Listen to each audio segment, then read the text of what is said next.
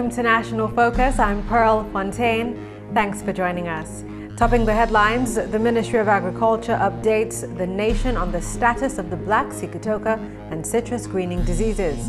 The Ministry of Tourism close to finalizing a crisis management plan, and Dominica bids farewell to Venezuelan ambassador following a 12 year stint. Stay with us for details of these stories and others when National Focus returns.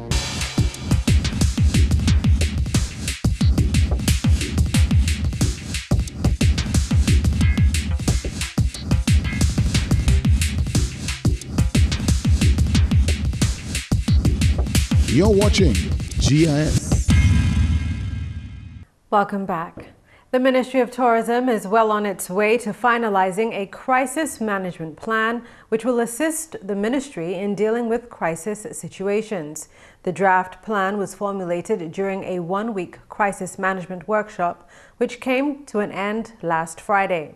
The workshop was conducted by Dominican Johnson John Rose, Communications Specialist of the Caribbean Tourism Office the CTO. Permanent Secretary in the Ministry of Tourism, Claudia Bellot, is supporting the draft plan, which she says still needs some fine tuning. She is optimistic that it will take effect soon. As we speak today, we also have a, a draft, an initial draft of our crisis management plan that we will have to do a little bit of refining of, but um, eventually we will have a, a, document that we can use and that will be approved and agreed to by all of the stakeholders. I trust that we will be able to complete this process very shortly so that you know we can have this document to really use in the short term. And we've also, as we went along, identified some of the resources that we will need in order to really implement this plan properly and to you know, deal with crises. Bellot says the crisis management plan, when finalized, is expected to be of great assistance to the Ministry of Tourism. The crisis management plan, as I said, will assist us in tourism, um, and it will assist us because we will be able to use it to remind ourselves how do we, you know, deal with not only the victims of crises, but also their families, and their friends who may be here in Dominica or who may be overseas, and how do we communicate to them? The Permanent Secretary had high praise for the participants for the level of interest shown during the workshop. She also had words of commendation for the facilitator of the training workshop. I think that all of you as participants will really endorse my sentiment when I say that he did an excellent job in delivering the training and not just in you know, presenting the material, but in ensuring that we had the practical simulation exercises, which have really left us much better prepared to deal with such situations. Tourism Minister Honorable Ian Douglas thanked Johnson John Rose for the assistance given to the ministry in putting the crisis management plan together. I want to personally thank you because I believe it was two years ago that we met in New York and I think we had a short chat and I was telling you that that is something that we really need in Dominica.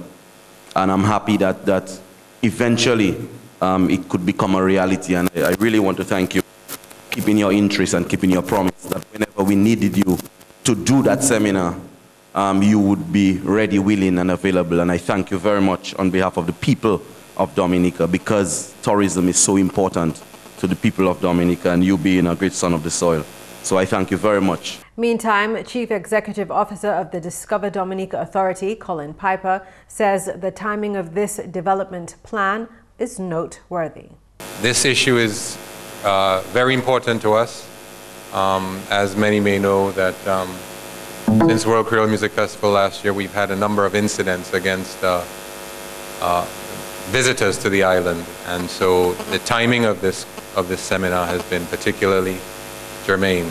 We have had to deal with some issues, and so it's even, uh, I, I, believe that uh, should they continue to occur in the future, we will be even more prepared, not only as an authority, but uh, as a destination. And that's important because one of the driving um, growth catalysts for, um, in terms of economic activity, is the tourism industry. and we want to ensure that, first of all, we are um, visitor-centric in terms of concern for them, but also um, ensure that the destination continues to, to thrive. And communications specialist at the Caribbean Tourism Office, Johnson John Rose, is encouraged by the level of participation displayed by stakeholders during last week's crisis management workshop. I was very impressed with the degree of competitiveness that occurred between teams. Every team wants to outdo the other team, and that is what it was all about. I was pleased with the commitment that everyone put into it. Those who couldn't be here every single day were so apologetic. Oh, I, I really am sorry I can't be here every day, or I can't be here for people who were missing just half an hour. That shows a level of commitment to this. And I can leave here quite confident and comfortable that at least this group, and so the Ministry of Tourism and the Tourist Board and everyone and all the stakeholders are much better prepared to deal certainly with the communication in the event there is a crisis, and as the PS said, in your own local situation. John Rose suggested that once the draft document is completed, the information will be shared with all stakeholders through a town hall meeting.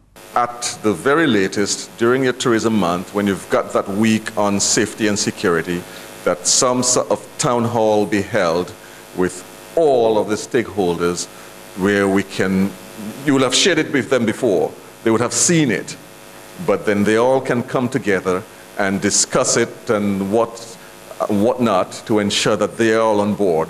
The Caribbean Tourism Organization CTO representative has availed himself to provide the Ministry of Tourism with further assistance, if required, in bringing the plan to effect. In other news, Plant Protection Officer Ryan Anselm says efforts to manage the citrus greening disease are effective. Speaking to GIS on Tuesday, Anselm briefly discussed the island's status in the fight against the disease. The disease itself is very dangerous. What's make it very dangerous is that it is transmitted by the vector called the Asian citrus psyllid. And that psyllid, what we have found all over Dominica is that the psyllid population is very low and that speaks well for Dominica in the management strategy. The disease is in four locations. It's in the south, the southeast, the north, and the northeast. The plant protection officer also explained that a multifaceted approach has been adopted to protect Dominica's entire citrus production industry. One phase of the strategy is government's citrus certification program, which he says is well managed and effective. He went on to describe the other facets of the strategy. The Ministry of Agriculture, with assistance from the Extension Unit, what we have done, engage the farmer, engage the backyard planters, those that have um, citrus in the backyard, to cut down all infested trees. So the, the first strategy is to eliminate the disease material, which is trees infested with positive with um, citrus greening. We have successfully done that in the South Point Michel, and we will continue to do that um, eradication process in eliminating all infested trees. We have also collaborated with the University of Florida in providing parasitoids. They have provided four strains of Tamarixia, which is the natural enemy, small parasitoids to fight against the vector and we have released about 40,000 of these parasitoids island-wide to control the vector. The parasitoids are insects which will naturally sterilize the citrus greening vector to prevent its reproduction.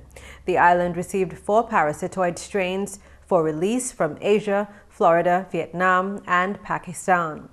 Anselm had strong words of caution for farmers and persons who casually grow citrus plants. Do not move planting material without the permission of the plant protection and quarantine services. We're asking you to engage us, talk to us, do not buy from any private nurseries. By doing that, you put the country at risk. The private nursery has no capacity in giving you a true to type disease-free material.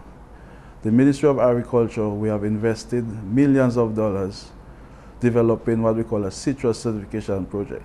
And that program is to guarantee the farmer that the farmer is getting a true to type and we can guarantee that the planting material is free of any diseases. And we're talking about um, tristeza, um, citrus greening and other pests of citrus. So it's important for everybody to come on board in this program, the farmers, the hucksters, extensionists, everybody involved, because we have a sector to protect. Citrus is a, a vibrant industry. Farmers can still make money out of citrus, and the strategy really is to maintain our production level, increase it, and to provide incomes for rural areas and for, for export earnings also. He also appealed to citrus growers to cooperate and to only purchase material from citrus certified vendors, since there is no actual cure for the citrus greening disease. Anselm stated that the important steps are to control the vector, destroy infected material, and control the spread. Meanwhile, the future looks positive for the island's fight against the citrus greening disease, which was first intercepted on the island last April. We have a very good chance of eradicating the disease. Some expert has um, recommended that, that if we move quickly and we get the resources to eliminate all infested, by elimination we're talking about cutting and injecting the, the, the, the stem with a herbicide to kill it. So again, um, we have a program in um, Point Michel that we're trying to eliminate all backyard citrus um, trees and leave the area clear of citrus for about a year and start a, a, a, a program that will help us eliminate the disease island-wide. Anselm also commented on the issue of the black sigatoka disease, which causes smaller fruit development in banana and plantain crops. He also stated that an integrated pest management program has been adopted by government to control the spread and impact of the black sigatoka. We have four main strategy, um, which is sanitation. The other strategy would be nutrition. And going around the island, you will see our production is lacking nutrition. By nutrition, I mean the fertilizer, um, both um, organic and inorganic fertilizer. The plants are lacking um, fertilizer, so we, we are really hoping that we can get some fertilizer very soon, that it will boost up the, the plants in terms of the plants will be able to withstand the disease. The last strategy is application of a chemical. The Ministry of Agriculture is in the third spraying cycle and has so far successfully sprayed 2,238 acres of crop. One of the most important aspects of the Black Sigatoka Management Program is the proper deleafing of infected plants. We're asking the farmers to, to, to, to go out in the field on a weekly basis and do the deleafing. Deleafing is very important in controlling Black Sigatoka. We want to emphasize um, deleafing very much because it is the number one strategy in, in, in eliminating or reducing the inoculation in the field. So we're asking the farmers to, to, to pay attention to the deleafing program, the sanitation, getting rid of the weeds, um, the drainage, the spacing, the density. That is important in um, controlling black sigatoka. Refrain from moving leafing material, trash. Um, traditionally, farmers would use the trash as a cushion to bring their plantain and bananas to the market. That self is of high risk. Um, you can transport the disease or transfer um, the disease from one area to another, an area that is infested to a non-infested area. The agriculture official emphasized that farmers must intensify deleafing exercises. We want the farmers to go on a, on a, on a radical deleafing program. And when they deleaf, um, not um, just deleaf and leave the leaf. We're telling them to turn the leaf upside down. By doing that, um, the spores that is going to spoil it and, and fly away, it will, it will go down in the, in, in the soil. Okay, the, the program again is saying um, that not only deleafing, but it, it has to be a scientific way where you manicure, you cut portion of the leaf that is infested. For example, if the plant um, has bunched, what we're asking you to the plant need about 8 to 10 leaves to, to give you a, a sizable bunch, a marketable bunch. So what we're saying is to, at that stage, we want you to manicure, um, do some surgery, cut the infested leaves. In addition to de-leafing, government continues to hold training sessions for farmers while visiting farms to monitor the management of the black sigatoka. ANSELM says in order to rid the island of the dangerous disease, which is three times more aggressive than the yellow sigatoka, consistent and diligent scrutiny by both farmers and government must be maintained. The protection officer cautioned that the banana cultivation is still very significant to Dominica's economy and must not be ignored. Banana is very important, and I know a lot of Dominicans like the broth.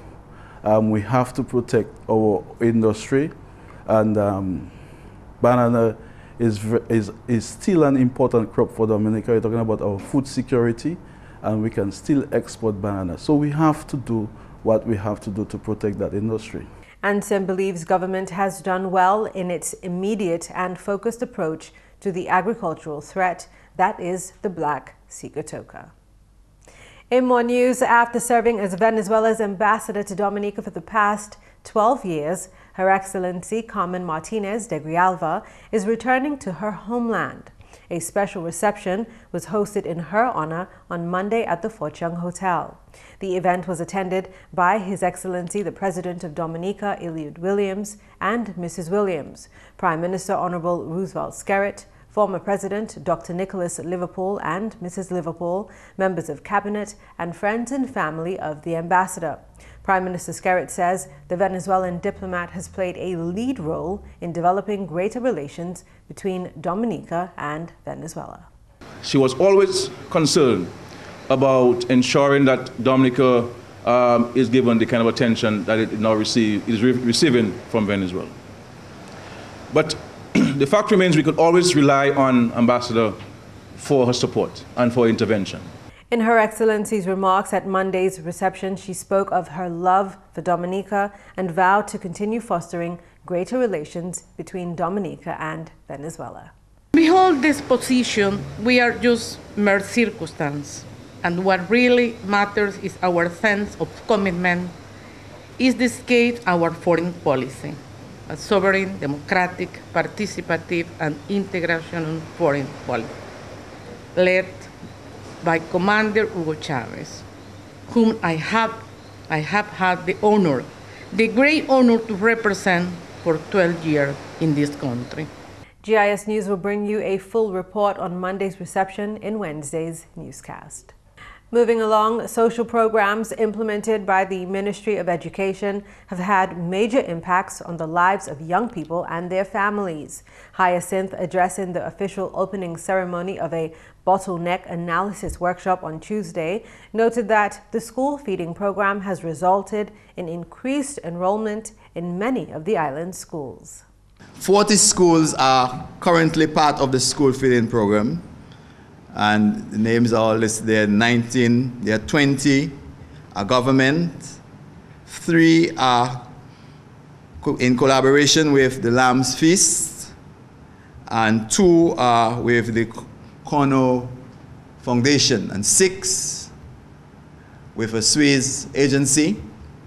The total number of beneficiaries is 1,900 students, and this has resulted in increased students' attendance in some communities over the years we recognized that there had been a decline in students' attendance at school. When they come in the morning, they would not return in the afternoon. And through the introduction of the school feeding program, we have seen increased enrollment at these schools. Hyacinth also spoke of some of the achievements of programs like the School Transfer Grant and the Education Trust Fund. The Education Trust Fund and School Transfer Grant, 795 students receive student grants, transfer grants of $500 each. CXC fees for 107 students from seven secondary schools were paid. And so that takes care of some areas where we recognize students needed support and we had to provide them. 260 students from 14 secondary schools received textbooks assistance, And during September to December 2012, transportation assistance was provided for 134 students. We had some school contribution fees that were paid in respect of 84 students at our schools. The transportation scheme 63 private bus drivers have been contracted under the scheme and they travel around the island to ensure that students arrive at school on time. And out of that, 1,782 students are benefiting from this experience. And that's the English news. McPherson St. Luce is next with the Creole highlights. Allô tout le monde, bienvenue à cette nouvelle en créole. Non, moi c'est McPherson St. Luce. Premièrement, ancien ambassadeur Venezuela pour Dominique, Excellency Carmen Martinez de Grijalva, qui a venu au bout de travail en Dominique. ambassadeur Dick Halber qui travaille ici pour 12 l'année, qui a quitté semaine salam. Ainsi contre gouvernement Dominique, ambassadeur pour Venezuela, Dr. Philbert Aaron, qui a remercié Martinez Dick Halber pour continuer le travail qu'il fait en Dominique en ces 12 l'année là. Il dit ambassadeur Dick Halber travaille bien wed, développer bon relation là qui a existé entre ces deux pays là. Dominic Chen en réception en l'honneur de Halbar, lady au soir. En notre nouvelle association Manufacturers Dominique qui, une fois encore, organisé by Local Extravaganza pour célébration masse Dominique l'année 2013. M. Severin Mackenzie, c'est officier relations publiques pour Association Manufacturers Dominique. C'est pas tout bitin Dominique a fait, moun Dominique savent ça nous a fait. avec nous à l'association Manufacture Dominique. Nous d'accord, nous n'y pouvons faire nous ne pouvons faire dominicains savent qui ça nous qui ça nous a fait. Avec pas quand fait ils savent qui ça nous a fait aussi gagner ça nous a fait. Puis là là on moun qui a fait Dominique qui a employé um, jeune moun Dominique avec l'argent c'est mon jeune moun l'a fait car ka yo ka gagner bitin en Dominique même pour pour aider l'économie. Comme ça ça nous d'accord si l'année passée en mois décembre. Dès nous garder situation, nous d'accord nous aller organiser. Ça nous couiller Bayi Dominica shopping extravaganza. Gagner bagaille Dominique. Avec nous parler avec ces gens-là à la place Ozo, avec nous d'accord. Um, avec eux, apprécier le mouvement là nous avons fait, avec uh, les, les 20, avec les 21, 21, 21 um, décembre. Nous sommes à la place Dominique avec bagaille, bagaille marché bien avec ces gens-là qui ont participé à Bayi Dominika program la, yo dako nou ka, nou ka li fè yon ko pou kanival. Kon sa se pou sa, pou sa nou eti jodi ka, ka pre, fè preparasyon pou ton sa nou ka li pou 5 jou. Mekwedi li 6, jedi li 7, vendredi li 8, samdi 9, evèk Am um, mekwedi apwe karneval, Ash Wednesday, li 13 um, fevriye. Dominique epi Costa Rica siye wanjman pou pli koperasyon ka konsene zafen ekotourism. Agweman koperasyon salan siye simen pase, pandan on delegasyon peyi salan te ka vizite. Costa Rica ki asiste Dominique bagay kapasite ekotourism, bagay teknikal epi yo ke osi organize voyaj an se de peyi lan. Minister Commodity Honorable Dr. John Colin McIntyre, ansam epi Minister Tourist Honorable Ian Douglas, ou se chen diskisyon epi delegasyon Costa Rica pandan vizit yo pou peyi la. Epi finalman, Divizyon Peche Dominic chen program pou treni peche an peyi la. Yo ou si te anvite peche lot peyi, vizite esi tape twenman. Pawal sala soti yon ofisye Divizyon Peche Dominic, Mr. Norman Norris. Nanè pase, 2012, nou teni 3 regional programs. Sa men pou di, program nou menm fè Dominique eveyte an sukses. Nou mene moun hod St. Kitts, Nevis, Antigua, St. Lucia, St. Vincent, Grenada pou vini Dominique evè apon sa nou ka fè pou nou sa NDUP. yo. Yon di yo, se te pou fè epis epi Diamondback Squid la, yo te la evè nou ni yo poster, la nou ni participan hod region la Le yo te domne ka fe program sa la pou yon simen, nou, nou te fe kechoy hodam ghost fishing. Sa se le ou, le ou nas, nou, le ou, le ou nas pedi. Nasa pa pedi. Me le an baglo, i ka kontinue chebe pweso, eve chwe pweso. Kosa nou teni an successful program epi sa, nou fe o papye scientific, eve mwen mwen te prezante sa, pite 3 an di pase, Adams International Scientific Conference, avek nou mene am um, Fisheries Officers ho regional pou vini pou we sa nou ka fe, pou yo men sa fe keshoy kosa. Mese menam, sa se tout pou nouvel an kweyol pou apwezan. Non, moi c'est McPherson St. Luce. Au revoir. Thank you, McPherson. Learn how to live a more productive life in our National Focus Tip of the Day coming up after this.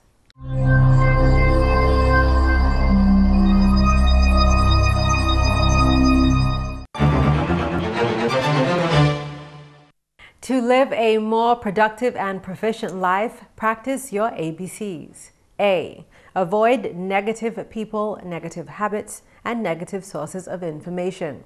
B. Believe in yourself and your closest confidence. And C. Create a healthy balance between career, family, and social responsibilities.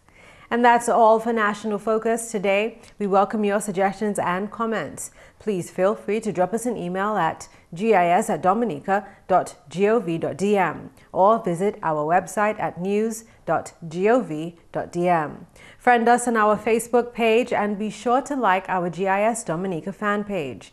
You can also catch up on past National Focus newscasts on our GIS Dominica YouTube page. On behalf of the entire news production team, I'm Pearl Fontaine.